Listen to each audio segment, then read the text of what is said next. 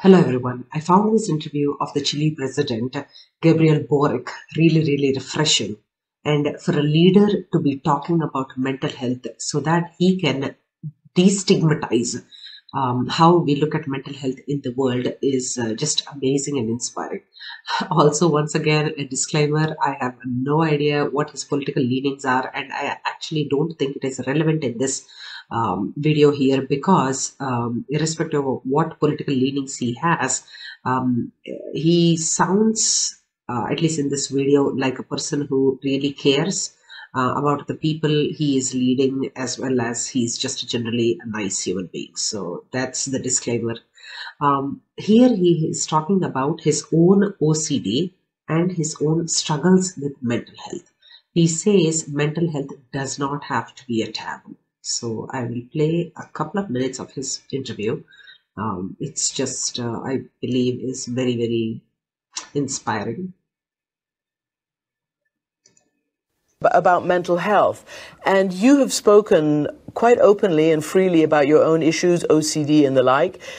My question is, why have you decided to speak openly about it? What do you say to your people and people around the world? And how has it affected you? I mean, so usually, if uh, you are the leader of a country, um, you you know anybody in a leadership role know that they cannot be showing themselves as vulnerable enough to you know present their weak points um, to the world.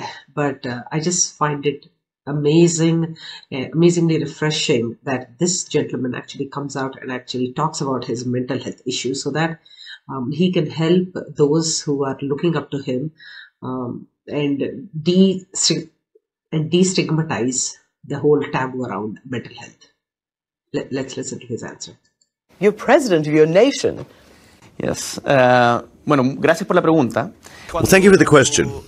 When you have a wound, when you have a, a broken bone, you, it's noticeable, it bleeds, and you can see it.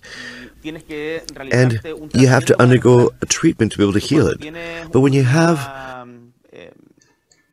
That is a classic statement because, you know, uh, the minute we have a physical injury, we just immediately rush to the emergency room or to the doctor.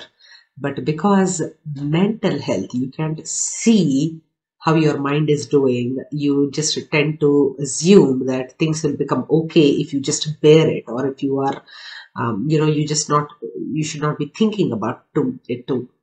You should not think about it too much or something like that, right? But uh, yeah, this is amazing an affectation regarding mental health. Many a times you hide it.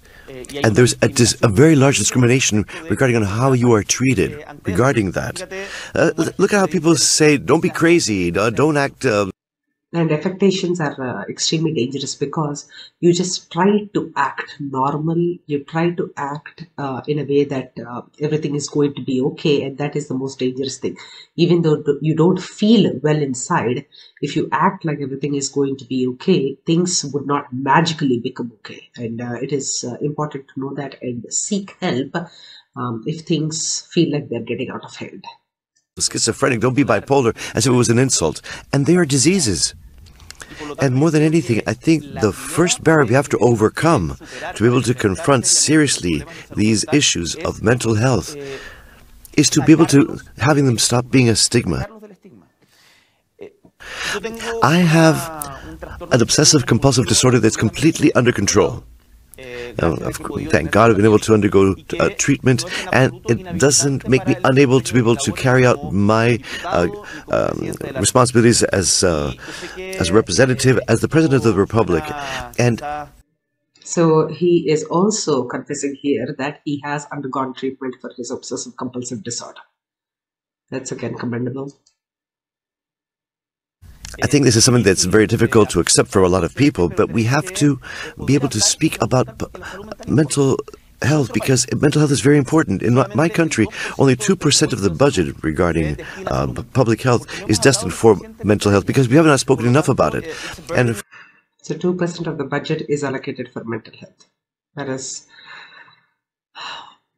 yeah and and uh, him speaking about it like this out in the open and him speaking about it publicly like this will give an incentive for his country to allocate more budget and actually do something more uh, in terms of uh, taking care of the mental health of the public. That's amazing. Thank you.